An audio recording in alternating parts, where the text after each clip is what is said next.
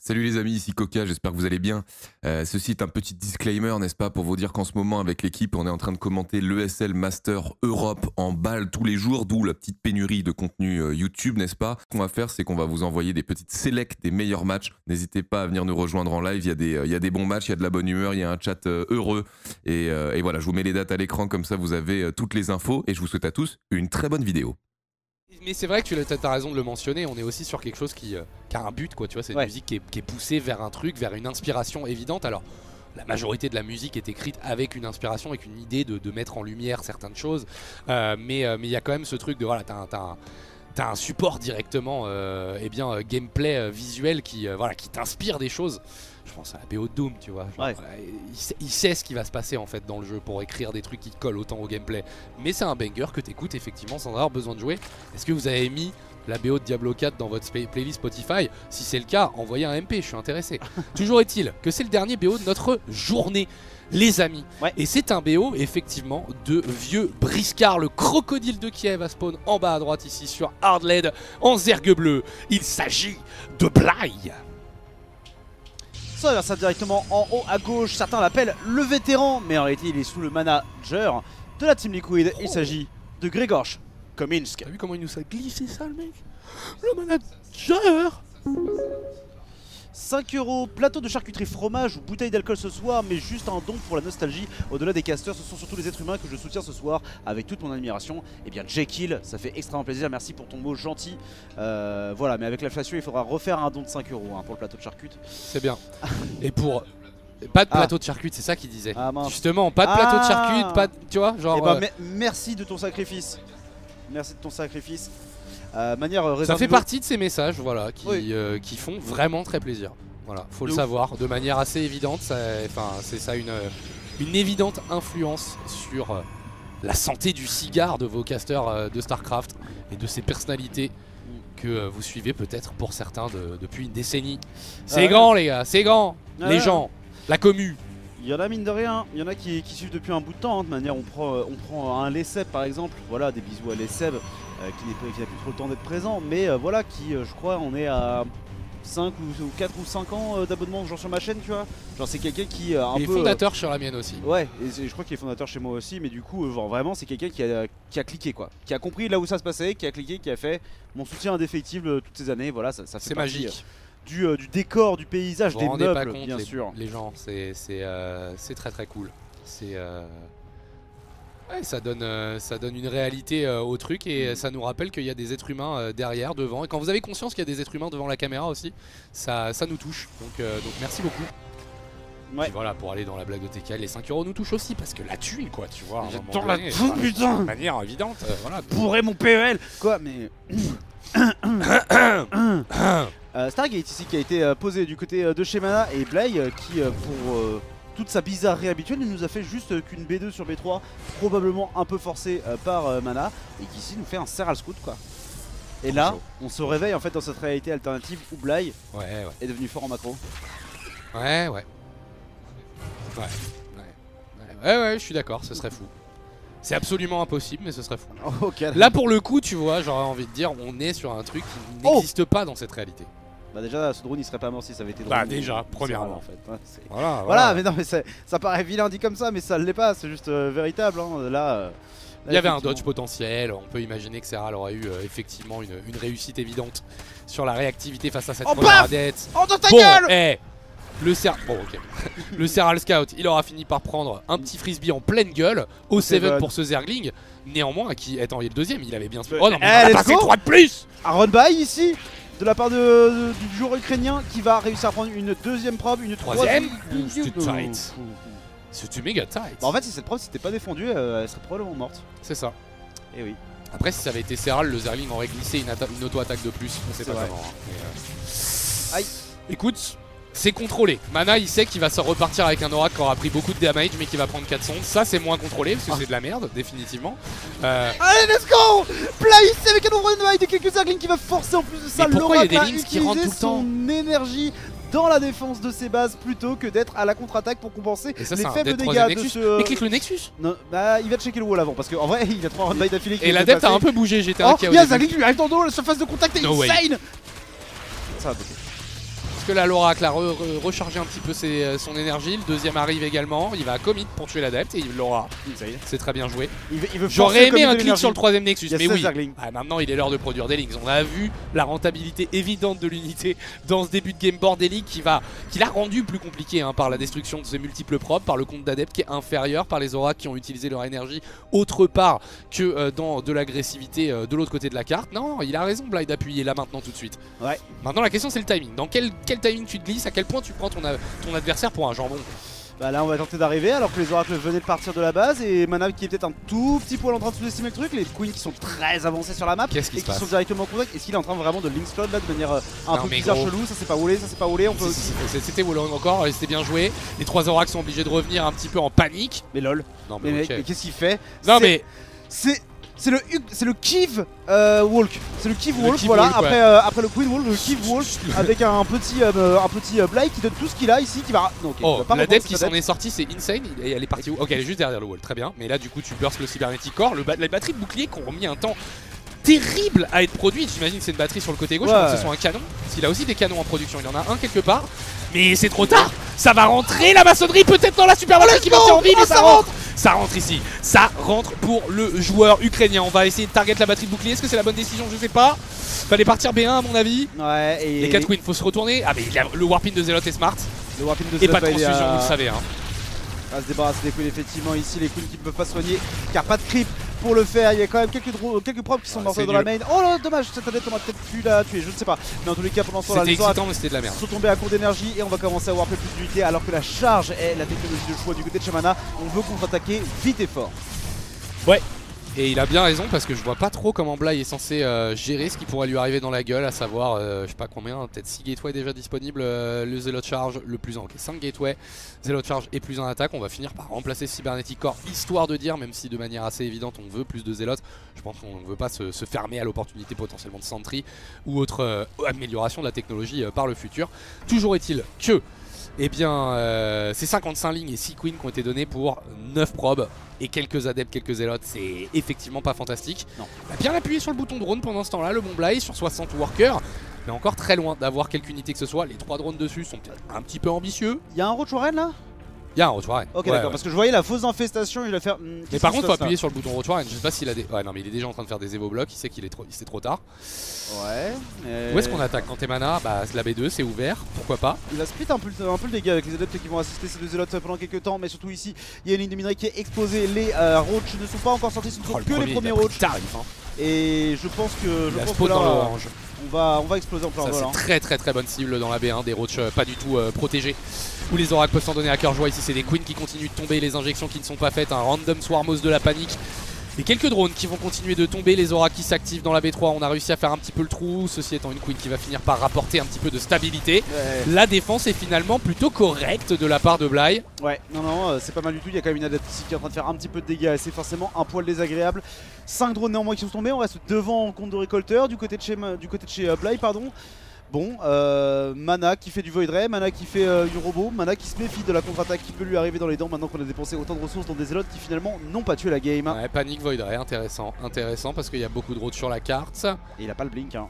Ouais, le- euh, beaucoup de trackers, mais pas de blink recherché dans cette affaire. Et Bly, est-ce qu'il n'est pas l'heure d'y retourner? Parce qu'on continue, en fait, non-stop, c'est Roach Queen depuis tout à l'heure. À terme, il y aura le plus 1. Enfin, je veux dire, sa game va être euh, un poil meilleur d'ici une trentaine de secondes, le moment où il semblerait-il veut attaquer, en fait. Plus un d'attaque qui va débarquer, plus de queens qui vont pouvoir traverser. Le creep est beaucoup plus étendu que tout à l'heure aussi, s'il veut à nouveau traverser avec les queens. Ouais, et puis beaucoup de links qui vont être ajoutés, hein, qui vont être un très très très bon complément face à un adversaire qui n'a pas rusher les archontes, mais en réalité un compte de tracker très important. Et le blink qui est en train d'arriver, la roue en follow-up qui évidemment sera d'une aide immense. Si on peut sortir un colosse, je dirais contre ce genre de compo, hein, on veut quand même la stabilité et la régularité du colosse versus la volatilité du disrupteur. Pour autant, on n'y Il y est a pas encore. workers, il a fait un drop. B1, c'est quoi l'histoire Ah non, c'est le random Swarmos, j'en peux plus, mec. j'en peux plus Il a fait 3 kills avec son Swarmos, c'est trop C'est trop Est-ce qu'il est vraiment si random? Est-ce que c'est pas le play Swarmos bien évidemment? Petit solo Swarmos en Haras qui est balancé comme ça, pourquoi pas après tout? C'est du Zerg, ça coûte pas cher et pour le coup c'est très efficace. Il a déjà Allez, ramène pas toute la pop, fais pas une blague. Pourquoi il Ah, y a si, tous les roads qui reviennent? C'est un il bon fou. F2 à la maison ça. Ah, il rend ouf, il rend ouf, il rend ouf, il rend ouf. Est-ce qu'on aura le temps de sortir une unité de la robot à proprement parler euh, De la robot bête ou du moins? Disrupteur first probablement, Colossus? Disrupteur qui va sortir plus vite, qui n'aura pas besoin de la range et qui Bon, face à euh, des capacités de splitting pas forcément d'un autre monde, Ouais. du côté de Chebla, il y a des trucs à jouer, mais il est déjà en train de taper cet immortel qui arrive à encaisser deux shots. C'était quand même très très très lucky là-dessus, mais il y a trop. Mana, il a absolument pas d'unité là-dessus. Le nouveau Swarmos va être reproduit et cette première game, elle va être prise par Bly très tranquillement. Mais quel talent ici Quel boss Quel boss Bly ici qui Le continue plus un, c'est fini. Après euh, tout ce est temps-là de faire la différence et le plus un c'est effectivement terminé. Les rouges comme les ravageurs font leur dégâts maximum. Les locustes aussi à terme. On se mange ses propres billes et Oh. on en a rien Oh à la foutre. disru La di- Oh quand même. Il a perdu 10 de pop dessus, il a... mais c'est pas grave, c'est toujours gagné, non On est d'accord Ouais, ouais, 52 pop d'avance ici. Il n'y aura pas de problème du côté de chez Bly. Évidemment, il y a quand même un deuxième disrupteur qui arrive et la première Nova va évidemment recharger. Mana il doit être bon. technique hein. et il continue de se faire harass par ce Swarmos. hein. C'est grandiose mec ce qui se passe, c'est une dinguerie. hein. Ouais, ouais. Alors définitivement c'était pas du Serral, c'était du Bly mais c'était du Bly beaucoup plus affûté que ce qu'on a vu par les, les saisons précédentes. C'est c'est du beau Bly. C'est du beau Bly, tout Du simplement. meilleur Bly. euh, qui, ouais, qui, qui- qui a bossé. Hein, te- on a peut-être eu plus de temps de practice, hein, mine de rien, euh, sur, euh, sur cette euh, année, sur cette saison. Ah ouais mais reste Euh, pas ici quoi. Bly, on va Reste faire pas des ici à prendre des plutôt ok. disruptions Oh, le disrupteur peut-être bloqué un peu par les trackers Non, ici sera pas bloqué. Et on va pour la peine perdre deux ravageurs, Bon, je- 5 voilà. Swarmos. Maintenant on appuie sur le bouton pour de vrai. Parce que là Ouais. pour le coup le Swarmos c'est une unité un peu random mais encore une fois très efficace. On a vu qu'on pouvait exploiter la vulnérabilité de la B1 Ouais. Et avec euh, ce qui est à l'heure actuelle 2 Swarmos mais bientôt 7, on va pouvoir cliquer des Nexus, on va pouvoir euh, cliquer n'importe quoi en fait, encore une fois, Swarmos Bah, plus 1. La seule chose qui mourra pas dans cette game euh, du haut Swarmos, c'est ce Void Ray, hein, tout simplement. Mais sinon, tout le reste, à terme, pourrait effectivement se faire euh, ratisser par les locustes face à un mana qui n'a pas le droit de. Oh mon dieu Classique Bly, putain C'était impressionnant, mais il y a toujours 160 de pop à 80. Ouais, alors tout à l'heure, il y a, Sans pop tout à l'heure, il y avait 70 de pop à, à 20. euh, là, tu vois, il y a un peu un truc, euh, le supply militaire.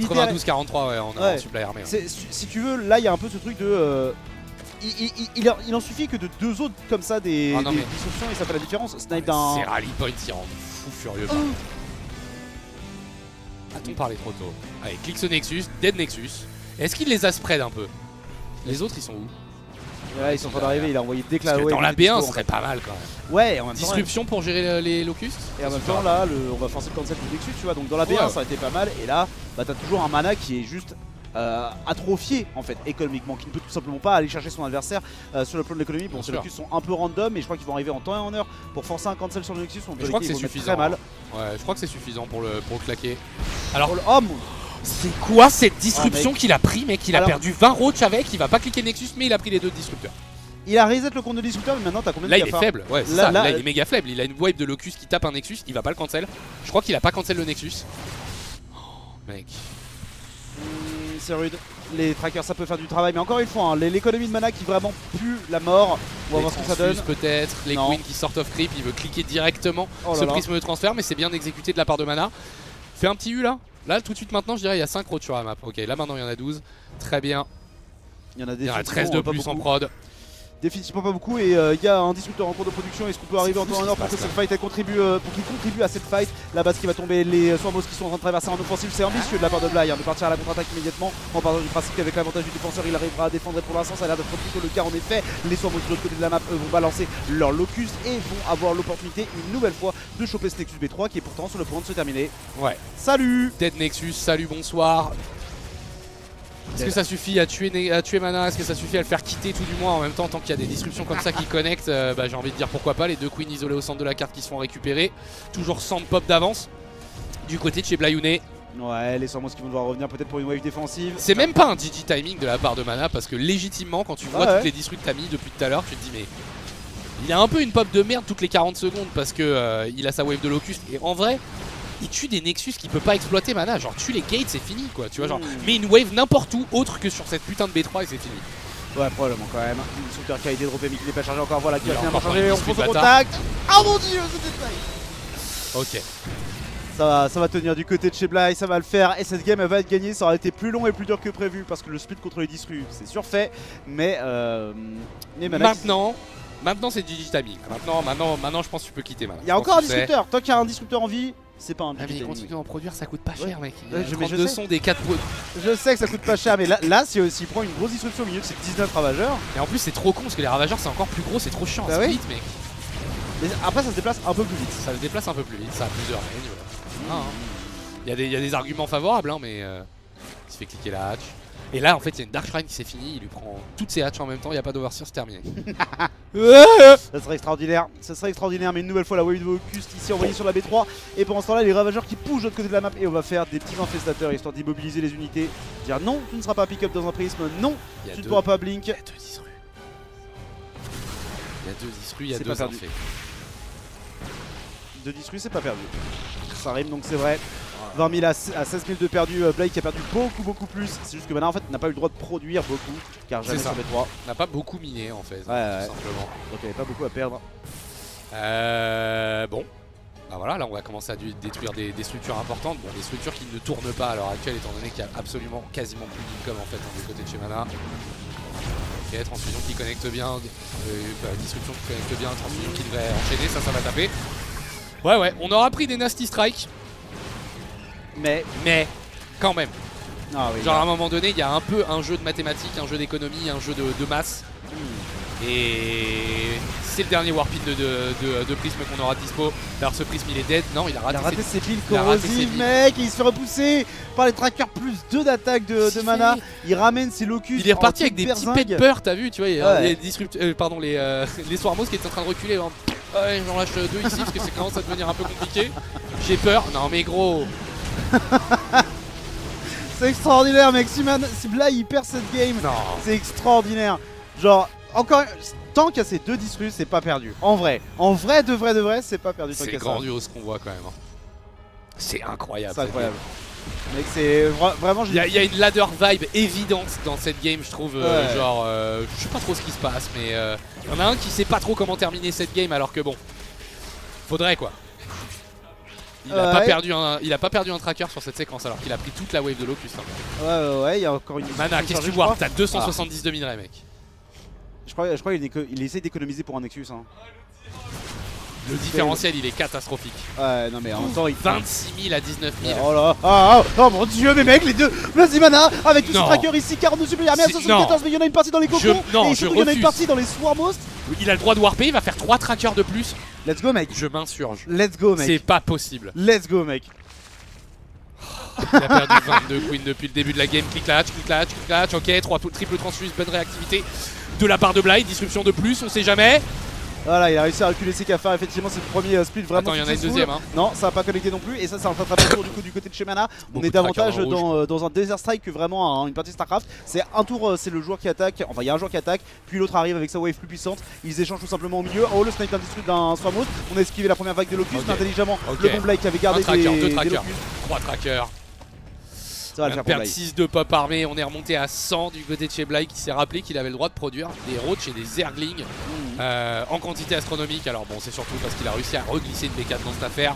On va prendre une petite disrue encore, mais le split de dernier instant qui lui permet de d'économiser deux roach là-dessus. Bien joué Blayoudé. Ouais Peut-être s'il a un bed, genre faut qu'il perde 40 000 de ressources sur B3, non Euh, C'est, je sais pas. Et puis Mana qui, euh, qui juste essaye de ramener sa game en parallèle quoi Qui fait ce qu'il peut Qui est peut-être un, un peu atterré hein, par la nature de cette game Parce que bon, Mana reste un joueur très actif Bah il la perd, il est vénère. Ah GG Aïe aïe aïe aïe aïe il est, il est l'heure. Il Aïe, est l'heure, il y a aïe, trop aïe. là, il y a trop d'unités mana. Bon, Mais là, c'est c'est le Blake qui, qui nous donne tout ce qu'on aime. On, on sait qui. Enfin, on sait. En vrai, il est pas passé si loin, je crois. euh,